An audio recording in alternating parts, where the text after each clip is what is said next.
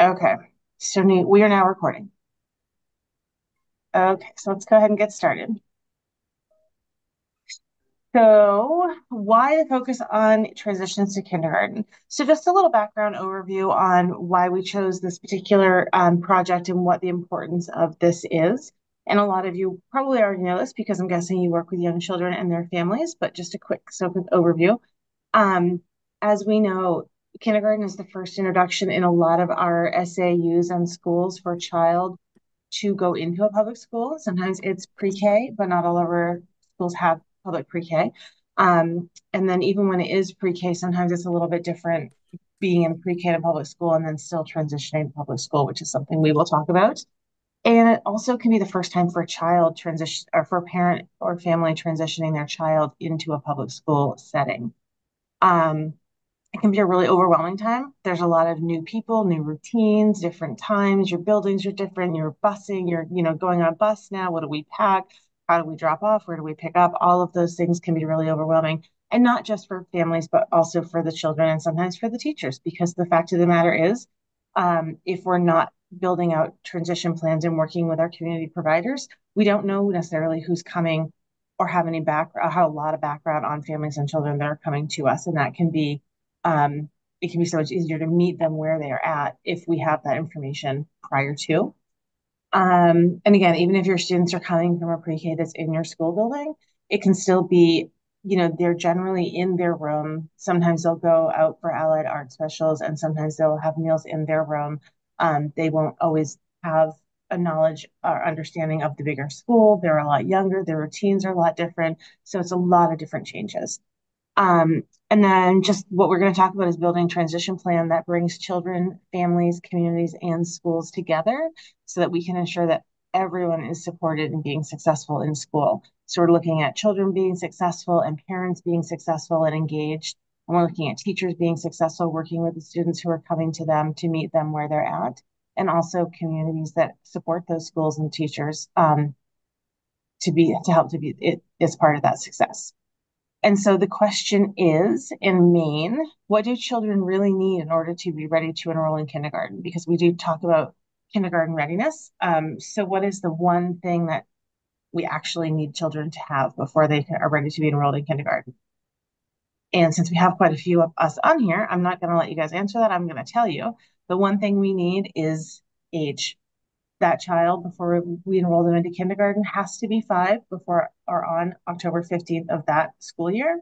So if they don't have that, then they are not ready to be in kindergarten. And if they do, they 100% are ready and they meet every single qualification to be enrolled in a public kindergarten program, which is really important to know. Um, so this opportunity, we're are gonna I'm gonna give you a rundown. I probably should have switched these slides. I'm gonna give you a rundown of what it's gonna look like and how it, how the opportunity is gonna go. But let's talk first about who can apply for this opportunity. So when we put the um when we put the newsroom article out, it does say we really support um, community providers in being part of this. It, it's a need that has to happen as part of this opportunity. And so I think we do have a number of community providers on this call, which is awesome. Um, the reason we put that in there and, and what we what we would recommend is for you to go to your school, your schools, your superintendents, your assistant superintendents, your principals, and and start the conversation. This is a great place. Um, collaborating on building out transition teams and transition plans into public school is a great place for for these partnerships to start. So it may not be pro partnering in programs, but it, and programming for um, children, but it could be partnering starting in transitions, which is a really strong place to start. Um, so the school administrative units or SAUs and schools can apply for this opportunity but this opportunity is meant to bring community partners together to support children and families. So that said, the application will only come through the SAU or school district, and it will also include community to engage them also. Specifically, um, when you go on the registration link, it will ask for um, a SAU or school representation and leadership. So that would be your, you know, principal, vice principal, superintendent, assistant superintendent, somebody who's in a leadership um, role in that school or district. And then one staff member or educator, which could be kindergarten teacher, pre-K teacher, um, a pre-K coordinator if there's if that's a role that's in your school. Um, that you know that, that would be the that would be who we're looking for. And then community representation um, at minimum one community childcare provider. In the uh, newsroom article, and I believe in the registration form, there's a link to childcarechoices.org, and that will bring you to a website where you can search your town, and all it will give you all of the childcare's um, their contact information and a few other details about them in your area. So you can look through, you look by town to find out who your child childcare providers are if you don't already know. Um, that said, we, through technical assistance, which we'll talk about in just a moment, we are going to work to identify additional team members from your community and from your um, school and district that could come together to be on this team. Um, so let's look at the benefits and the outcomes, the possible outcomes of partic participation. So we're looking at building an understanding of why the transition to kindergarten is so critical. And this is going to be looking like a universal understanding in your SAU, in your community, with your community providers, your families, your teachers, your leadership, all of those people who are so very important in this, in this transition life. Um, we're going to work to build a universal understanding so that everybody understands what we're going for here. We're going to look at learning strategies for building smooth and positive year-long transition to kindergarten plans.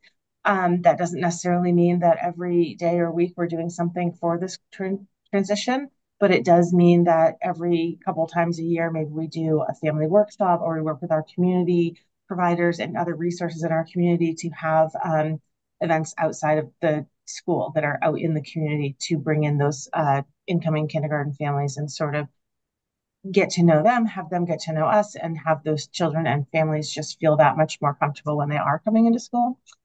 Um, gain an understanding of building a transition team and strategies for communication. So we talked about um, district or school leadership and uh, educator would be on that team, and then a community community provider at minimum. Um, excuse me. We're going to look at ways to build out that transition team. We're going to look at other possible community members, family members, uh, other people who might who could bring something important to the table for this. Um, and then strategies on communication, because when we're talking about uh, the uh, the you know why this is so beneficial and what we're doing, the communication is going to be a really big part of that when we're doing outreach. So we're going to talk about that. Um, and then have an opportunity to implement your transition plans and events that will support children, families, schools, and communities with ongoing support as well. And that would be an outcome. And so we talk about what the what this opportunity actually looks like. So this is an opportunity that will be a mini grant awarded. Um, and essentially it's a technical assistance opportunity. So starting on October 29th would be our first technical assistance visit. Registration will be closing around October 25th. So the link was in the, um, I actually will put it in the chat in a moment, the link for the registration form. So that will be completed. And then our first virtual TA meeting will be from 4 to 5.30 on October 29th. Later in the day, at least for the first couple of sessions, because we are including our community providers, and that means we have to be mindful of timing for them and their programming as well. Um, I do have two dates set aside for November 19th and December 17th. And then I do have times I want to say they're also at four o'clock. And we can decide future dates later as a team and how, we work together on that. So eventually those first couple of um, technical assistant meetings will be talking about communication. It'll be talking about the value in building out transition plans, what that looks like, looking at who in our community and schools might possibly might we want at the table to build that team with and how do we get them involved. Um, we're going to look at our systems working together. So our systems being our public school system, and our community provider system, and then other different um, entities in our community that can be helpful. So maybe like a community center or a faith-based organization, possibly like a YMCA, those sort of um, places where families go, and um, libraries is a good one that can also be part of this transition plan um, and can be helpful, be beneficial to be on the team as well. And this is just a really quick overview, so there will be a lot more information when we're doing the technical assistant um, sessions. Um, so during October to February, we'll be working on bringing all these all of these things together and building out a transition plan with the help of the team that you've implemented.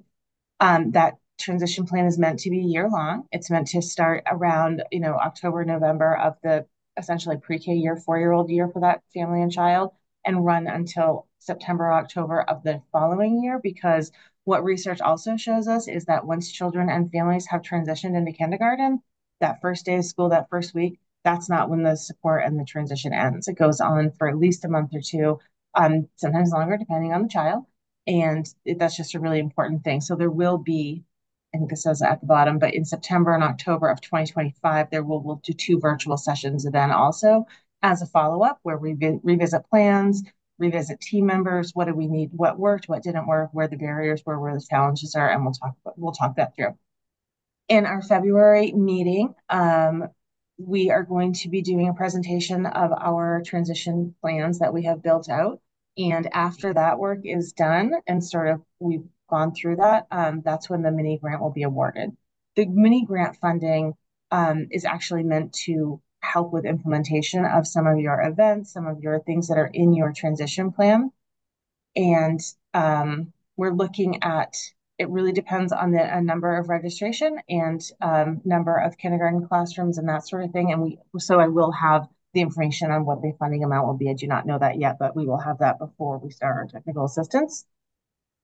Um, and then the spring will be, uh, again, virtual meetings monthly for technical assistance and support. And then we'll work on implementation of your plan during spring, over summer, and into the next school year. There will be an opportunity for technical assistance meetings that might be one-on-one -on -one also with one um, SAU and their team.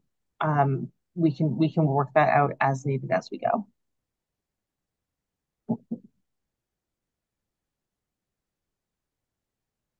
And then just a little bit more about technical assistance. So I, we did talk a little bit about the topics. I actually forgot I put the slide in here, so I apologize. Um, so the technical assistance topics, which we did talk about, building out a communication plan to invite and engage potential team members and families that we spoke of. School and community systems, um, the importance of working together. We're a lot of talking about how important our schools and our communities um, supporting our community childcare providers and vice versa, and why that's so important, not just for the programs themselves, because that's a big deal, but also for children and families, um, and for educators at school too developing a transition plan that supports all children and families. So we're looking at, um, you know, culturally responsive, linguistically responsive, um, and sustainability. And then continued support after the start of the kindergarten year, because again, that transition doesn't end just because we've walked into school and we've been there for a year. That transition and that support needs to be ongoing for a few months after that. Oops. Um, okay. And so I really appreciate you guys joining us today. That was a quick overview. I definitely wanted to have time for questions, and we just we have a short amount of time together today. So um, please feel free to unmute and go ahead and ask questions. Um, I'm going to go ahead and put the registration link for the opportunity in the chat. So I'm going to stop sharing as well. But please feel free to just unmute and ask any questions that you have.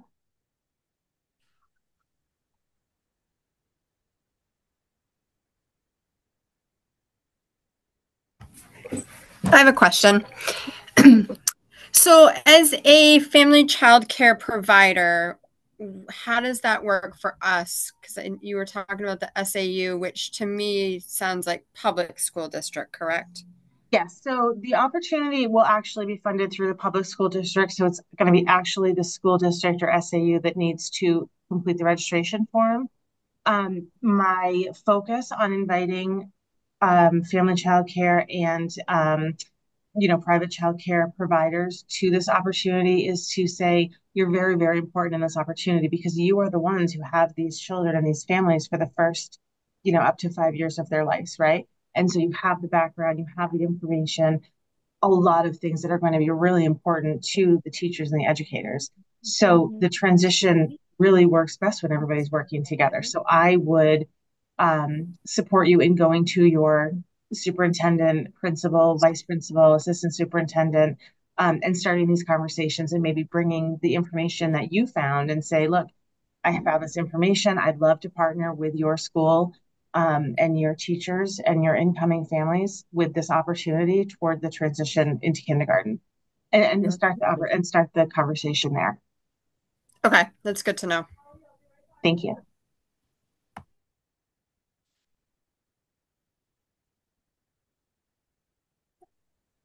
Are there any other questions?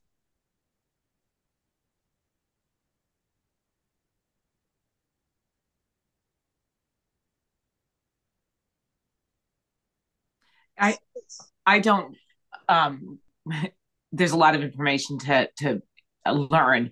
Um, I was just reaching out today to um, in regards to the pre-K co- collaboration within a school district, and one of my family members shared with me Christine's name as a contact. Um, sure. the, the, the process. So my understanding is there's two daycares in the Windham area, Windham Raymond area. Um, one being a Child's World and one being Tukasa, I believe. Um, that is collaboration in offering a pre-K program. I last year I had wanted to fast track it, but life life happened and it couldn't happen. But I'm really interested in it, and I got this email today about the Zoom meeting and was thrilled because I'm like, how how does that happen? but um, so yeah, so I'm I'm really excited about pursuing it and kind of fast tracking it, and I I hate losing my littles. Like I not that I take it personally, but it's really hard. And I would love to be able to offer the, to my families the opportunity to continue the care in the place that their child has been with for so many years and offer that pre-K program to ready ready them for kindergarten. Like it's I'm very excited about it, really excited about it. So that's awesome. I love the enthusiasm. I think that's wonderful. Um, I don't know if you noticed in the chat, but Christine uh, left you a message that says "Let's connect." So you Yay! have Christine on here. I don't know if yeah, her on here. Um, so there's a great connection right there. Yes. Um, so so yeah, and I think what is important to know is that we need. I mean, we need our child cares, right? We need our child cares, our our zero to five. We need that system to be sustained and yeah. working together and and doing these opportunities together is how we're going to start that process um, yeah. This is not necessarily an opportunity to start, um, you know, share partnering in pre-K programming at this point. This is to partner around kindergarten transitions, but exactly. it's a great place to sort of start those really building those relationships and getting to know who is in your SAU and who is in your schools and what that might what the landscape looks like because it might not always look like what the SAU folks think it does. It might not always look like what the childcare folks think it does but working together and figuring that out is how um, it's how we're going to you know support everybody so this is just a great place to really start building those relationships and absolutely. It takes a village doesn't it? You know so this is a great i was like the third was, time i've heard that today. And you're right yeah. it totally does. Sorry marcy. No um, and not not to take anything away from this experience which is a great opportunity to really focus on transition to kindergarten planning across communities. But I did want to mention that there's another opportunity also available at the moment that is intended to bring community teams together. And mm-hmm. one of the things that you can work on is kindergarten transition planning, but it's also a chance to explore other ways of building relationships across the community. And exactly. that also comes with an opportunity at the end of it for some um, mini grant funding. So, mm-hmm. and communities can apply for both of those. There's no reason why your team couldn't be partaking of both of them if it's helpful to your work. Right. That's great. Great. A link to our there's our early learning page on our newsroom that has actually has the link to the transition opportunity. It has a link to the um, collaboration. I forget what it's called. I, the name was just changed, and so I forget what it was called. Um, it's like collaborating across communities. Yes, collaborating yeah. across communities. So that is in there, and there's a couple more offerings that we have in there too, office hours and those sort of things that would would be great for information for you to have. So that page will bring you to all of those things. And I also will just put a shout out that if you, I think on the left, on the right hand side, there's a place to subscribe to the DOE newsroom. All of our opportunities, whether it's professional development, office hours, um, newsletters, that sort of thing, comes out through the newsroom. So if you were to subscribe to that, you would get all of those um, Oh, that- opportunities as well. Um, and the majority of our professional development is virtual and it is at no cost. And we do offer contact hours and we welcome childcare providers and family childcare providers and community members and community, community providers as well as public school. So Kim, did you have a question? I saw you came off mute. I do. Yeah. Um, so what happens if you're multiple, you're, you serve multiple communities? Like we serve Topsham School District and we also do Brunswick. So what happens with your, with our transitions? Are we going to do two separate teams or two, two different registrations or do we? If, I guess if both of your communities were gonna apply for the opportunity, then they would each need to submit their own. Um, Okay. But you could certainly be a part of both of their teams. And if only one of them is gonna pursue this, then you could be a part of, of that one. Okay. Yeah, and the, the registration will have to come through the SAU. So it'll have to come from the whoever in leadership in the school or, or um, district is. But yeah, they could both do that. And they're very close together, so that would actually work. Yeah. Mm. Ryan, I saw you come off mute also. Did you have a question? Yeah, I did. So, um, in Portland, there's a really wide range of childcare centers.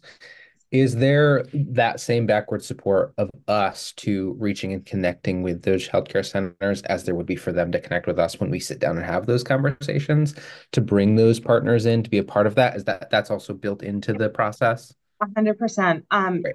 I would say in my experience, that's generally it's the public school and the SAU reaching to childcares to try to start the partnerships. Right. Um, but sometimes we don't know what we don't know. So we often support our childcare providers in reaching to the district, which doesn't mean anything is going to happen overnight or that it's going to be, you know, receptive or we don't we don't know because again, you don't know what you don't know. But yes, 100% go the other way also.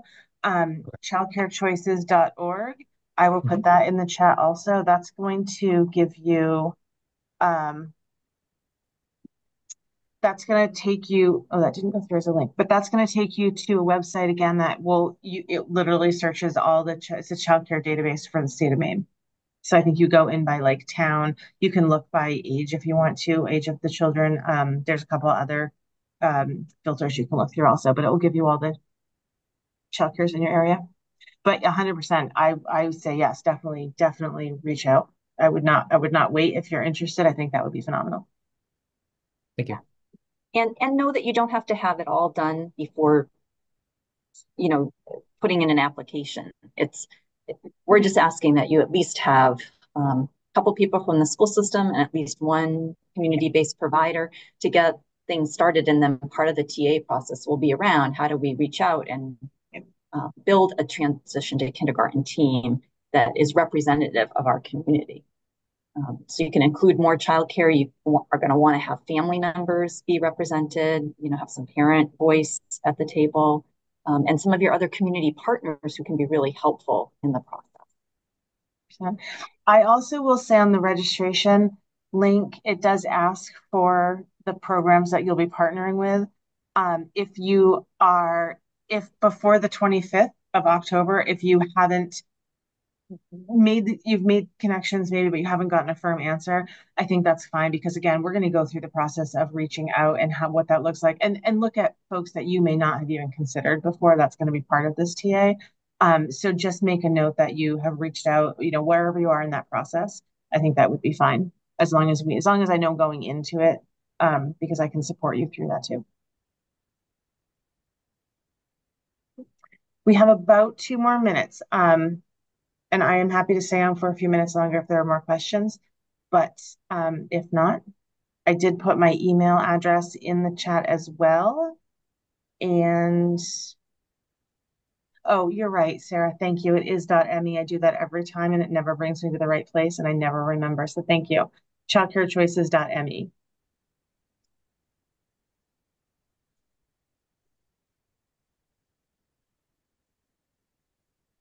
So if there are any more questions, I will give you your evening and thank you so much again for joining. Um, registration link is in the chat. You have my email. If you have any questions, um, later on this week or next week that you have, just please feel free to reach out at any point. And I thank you for being here. Thank you. Thank you very much. Thank you. Thank you.